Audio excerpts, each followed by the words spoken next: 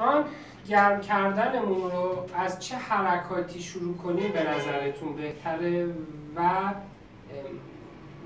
به چه علتی؟ هلیا بگردن. آره. به نظرت از چه حرکتی شروع کنیم گرم کردن؟ بهتره و به چه علتی؟ نه من اصلا کار کاری که؟ نه نه نه ببین صحبت من این نیست که شما خونه چی کار می‌کنیم میگم چی کار بکنیم بهتره. شما لینا از این اعداد شروع به چه علتی؟ خب همش هست بعد همش گرم میشه دیگه همه عضلات شما. نظر من هم ریز خوبه هم همین ادش دلیل ریز به خاطر اینه که مثلا برای تو اینا در همون وقتی ریز می‌زنیم از تو از ریزمون تو توبکمون هم میاد.